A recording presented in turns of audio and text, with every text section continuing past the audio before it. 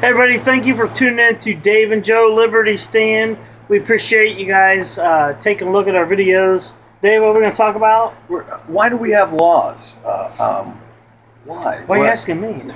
Well, because you brought this up, man.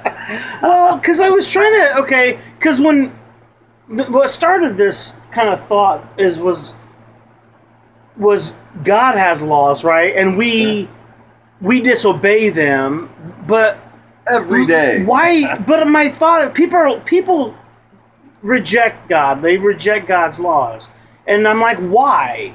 So Wait, I a little aside here. Yeah. Um,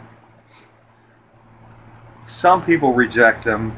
A lot of people don't think they do, and another portion Oh, do, and they regret it and try to Right. right. So you got Right. different groups of people here.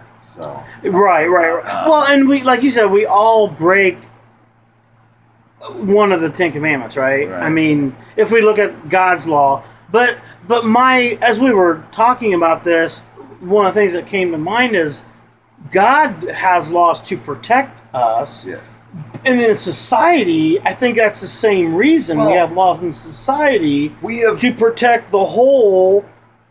You know, in society. got, oh my gosh, I got another thing came to my mind. It, it, well, first of all, Yes. before America, anyway, we had laws to keep people in line because uh, you have to have order. You can't have chaos okay, right? because you have to to be the king or queen or whatever. You have to keep people in order. you want to be a queen, No, no, I don't. so you got to keep people in order. You got to keep people in order. Okay, Um, but in America, we try to we try to reflect um, in the Bible God's Right. laws about just being. You know what? Um, everyone's equal. my my rights All- end. My rights end where somebody else's begin. right, and and well, I, and, I, I can I can do this all day long, but once I once I hit him, no, it's it's no longer okay because I've yeah, I, I I violated his uh, uh, rights. right, Um, but so there's different versions of what your rights are. Uh, um, there's the you know the king queen thing. You know, like Mhm. well, I just want to keep orderly society. Well, and you always do, no matter what, anyway. But I mean, I mean, you can't have well, and then you but- can have evil dictators or kings and rulers, and then or a beloved ben, benevolent. Yeah. uh, well, and the other thing I think with the United States benevolent. is is everyone's equal. Like we don't have a king, we have a president, but that president sh- does not see himself, quote unquote, should not see himself as better than anyone else. should is right. not Well, and that's be, human nature, but Yeah. ultimately, you know, I'm thinking, you know, we have laws so there's not chaos. Right. Hence, God has laws so there's not chaos to protect and to which is to protect us because He loves mankind. We And- are. See, here's the thing. Up until America, though, this wasn't true. But it always was uh, true that ev- every human was born to be free and to have rights. Free, yeah, free will. and right. free. God, uh, God. And, and anybody that stands in any other person's way, uh, uh, i that's against the law. You sh- you cannot do that. yeah, I right. can't shoot you. I'm taking your life away from you. I'm taking. I, I, Yeah. I've taken away everything you've got, or anything you'll ever have.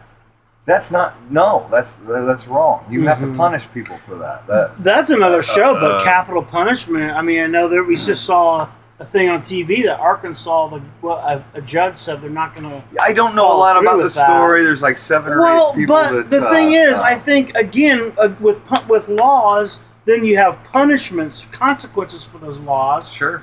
and if you take a And you should. then and, and the Well, thing not, is, not even that. If you know what, if you come into my house, man, at night, if I hear some rustling around, Yeah, you better denounce yourself if you're my friend.